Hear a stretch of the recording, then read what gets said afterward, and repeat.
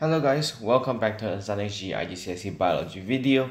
So today we are going to go to the chapter 19 which is organisms and their environment. So we're going to understand the energy flow within the food chain and be able to identify different trophic levels. Know how to change one of the trophic levels that can affect other trophic levels. And lastly is to relate energy losses with energy efficiency. Okay, so as we all know, this is the um, kind of like the food chain, if you know from um, year 9, that producers, then primary consumers, secondary consumers, then tertiary consumers. So what is before producers is sun, because sun is the principal source of energy input to all biological system. So about the first one, which is producers, the autotrophs means they make food for themselves, which take up which is hundred percent of the energy, and ten percent energy is being used for the primary consumer, and then one percent of the energy is being used in secondary consumer, and the third the last consumer takes up zero point one percent. So 90% of the energy lost in energy at each trophic levels that remains 10%. Okay. This is the trophic level. So we of course would choose the second trophic level instead of the first one. Because it shows that there's more trees than birds. Because there are not many birds in, in this world. There's not like 10 million birds. But tree there's definitely a lot. There are more trees than birds. So this makes sense that that the consumers are eating the producer the which the producer has like large amount on earth and then there are some birds just eat onto caterpillars. Okay? So what is the advantage of the pyramid of the biomass? It is more accurate okay? And it represents the dry mass instead of numbers. And lastly is almost always pyramid shape okay? So yes. This is it. So before we go into here so pri- primary pyramids of biomass is equals to dry mass times number of organisms.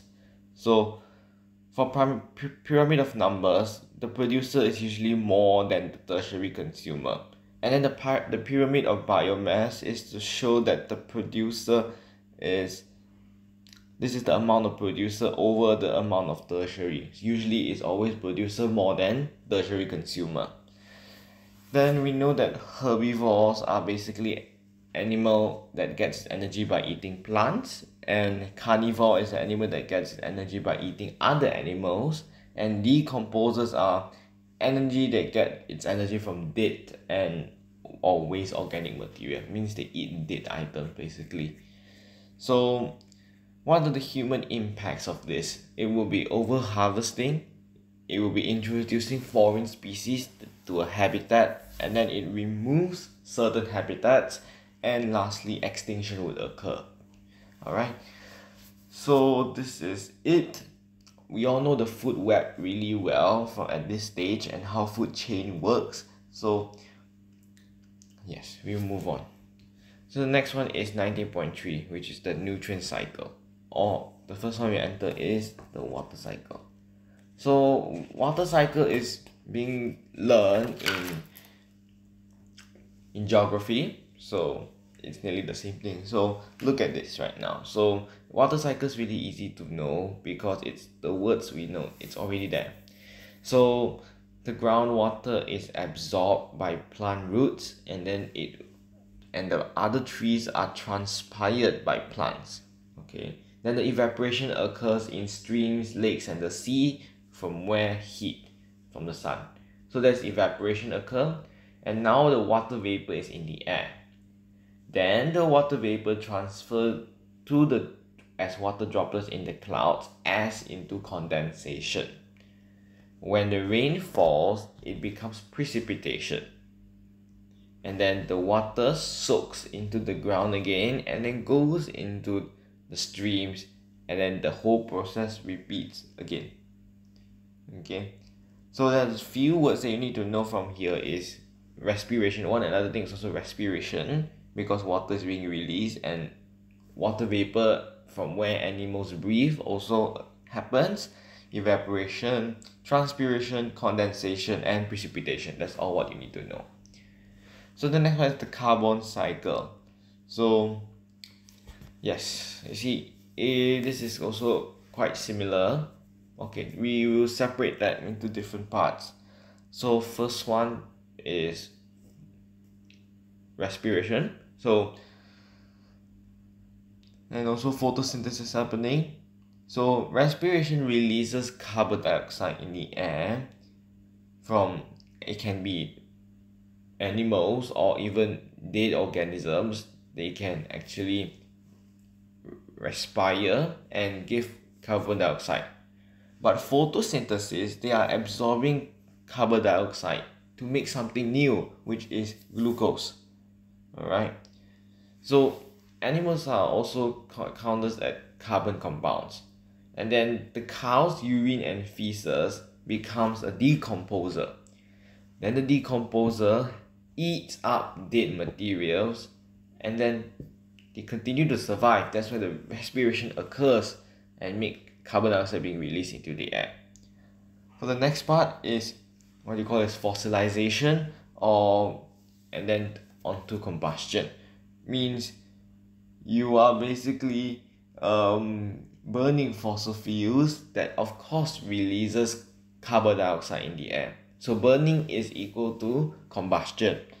So burning fossil fuel is carbon dioxide being released and deforestation increases carbon dioxide because trees are carbon sinks. Okay and they store carbon also okay? So yes this is the carbon cycle. Next one is the nitrogen cycle. The nitrogen cycle is a bit more a bit confusing for some people. So we will start with deamination so deamination occurs from all living um living animals because they have to excrete out okay? So therefore once deamination occurs you release ammonia into the ground. So what's after that? It hmm. decomposes and it starts to nitrificate into nitrate ions. And then the nitrates and am- ammonia in the soil can produce proteins for the plants to grow remember that in plant nutrition they require nitrate ions to grow for plants. So yes this is where your nitrate comes from. So another thing is fertilizers. Fertilizers they are also mostly nitrate ion. That's why it helps to grow faster. Okay?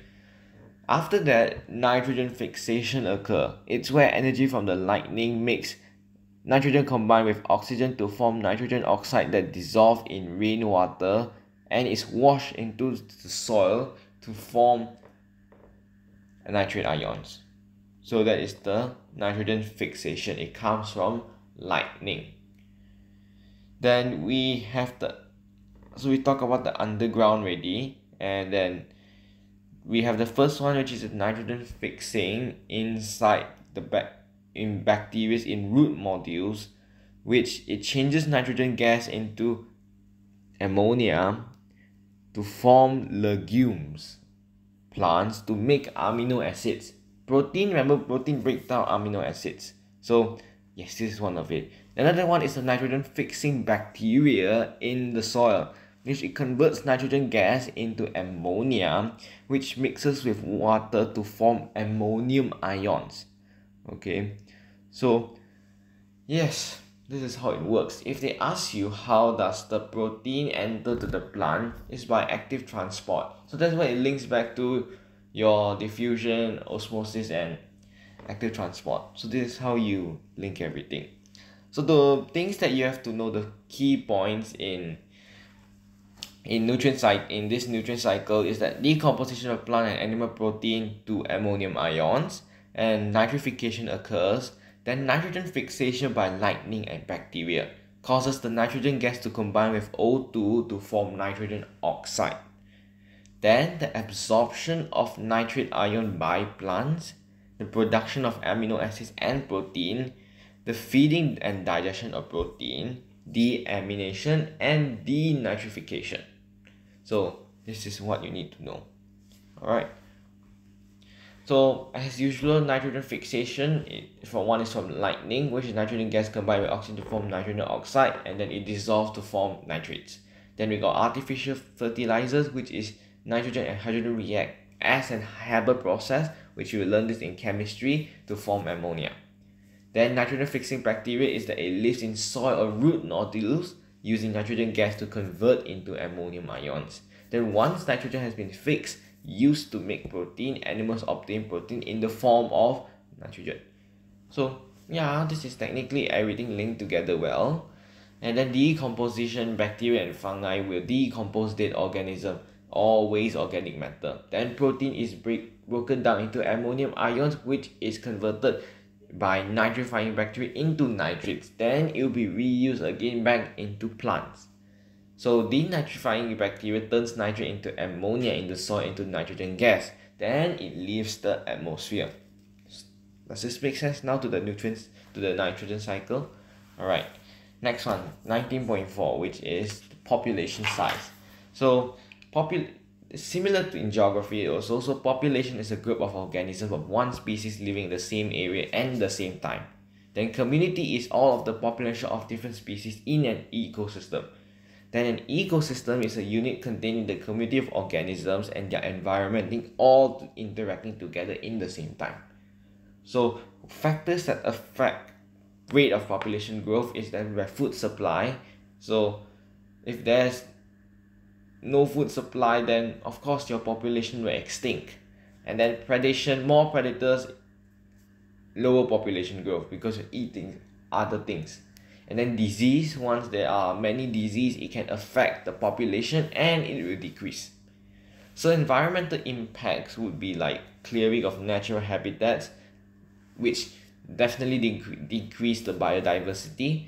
It increases the consumption of fossil fuels which global warming will occur and more water is being used overfishing invasive foreign species. Okay? Then this is the um, the sigmoid curve of the population growth showing the environmental with limited resources. So first one is the lag phase which few organisms are reproducing or no increase in number of living. Then we have the exponential phase or the log phase which is the population increase rapidly with no limiting factors. Then stationary phase would be death rate equals to birth rate with limiting factors being present. Then death phase is where the death rate is more than the birth rate due to the lack of food and etc. So limiting factors stop the population increasing. Can be competition, can be predators, and can be the spread of diseases. Alright. So this is the age pyramid. I don't you don't really need to know this that much, but you must know how it works that um the amount of population amount of age groups in percentage how many are there? So like basically if there are um four percent of the 65 to 69 age people living this is how they represent it. So that is all for this video. So i hope you enjoyed this. So i hope to see you guys in the next video. Bye bye